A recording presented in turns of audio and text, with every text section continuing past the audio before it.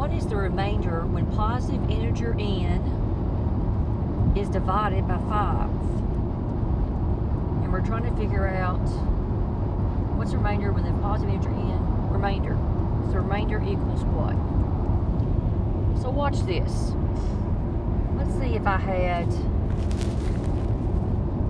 let's say, just let's pretend we had 3 divided into n and it went 4 times with the remainder equals 1. Well, that means that 4 times 3 is 12.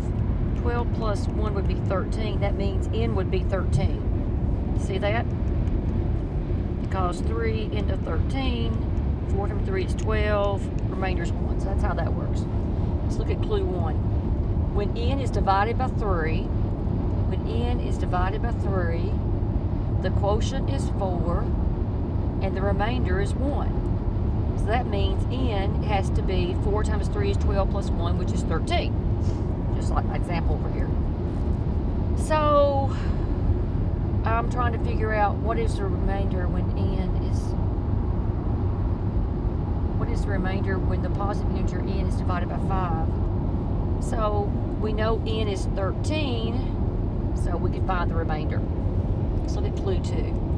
When n is divided by 4, when n is divided by 4, the remainder is 1. But I can't find n because I don't know how many times 4 went into n. So only clue 1 works.